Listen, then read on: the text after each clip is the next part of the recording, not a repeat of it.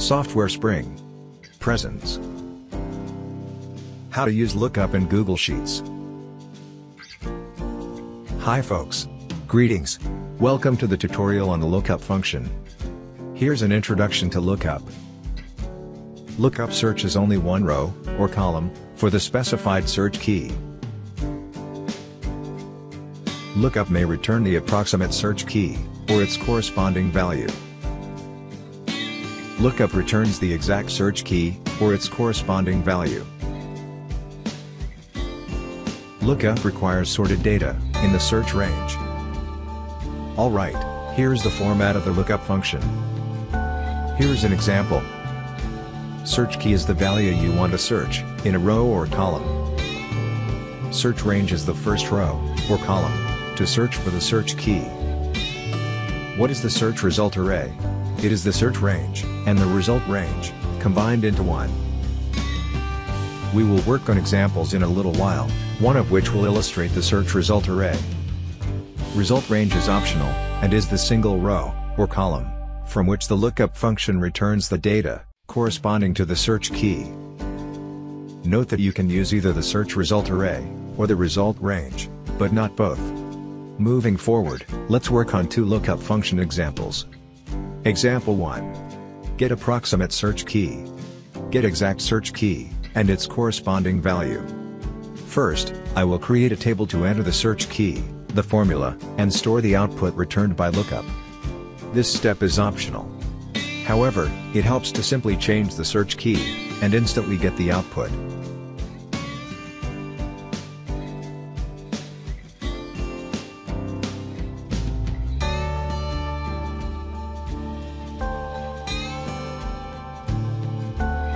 Note that in this column, the data is sorted, as required by the lookup function. OK, I will type 330 test score, as the search key. This value is not in the search range. So, let's see if lookup will return an approximate match. Now, let's type the formula. First, type equal to, L, O, O. Select lookup from the menu. For the search key, click this cell. Type comma. For the search range, click this cell, and shift-click this cell. Because we want only the search key to be returned, we will not include the result range attribute, in the function. Press enter. Yes, the function has returned an approximate value, from the search range, because 330 is not in the search range. Now, I will type 400, for the search key, and also get its corresponding value. That is, the fee discount for a test score of 400.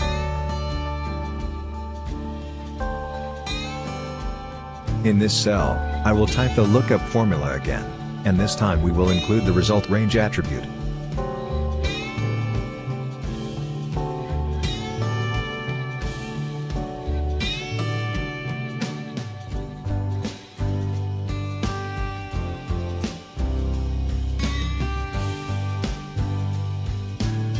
Alright, lookup has found the exact search key, and returned it, and its corresponding value. Example 2. Combine search range, and result range, into one range. If you combine the search and result range into one, then you should not use the result range attribute. Alright, let's work on this example. First, type the search key as, say, balance sheet.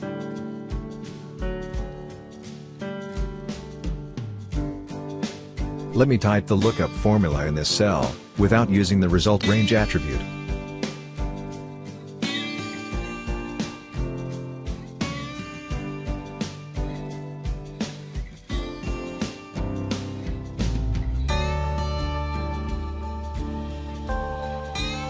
In this cell, I will type the lookup formula again, using the search result array.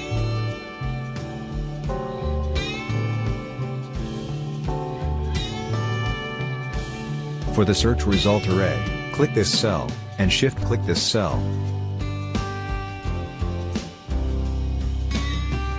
Press enter. There you go. The lookup function has returned the result. That's it folks. Thank you for watching this video. Please subscribe to this channel.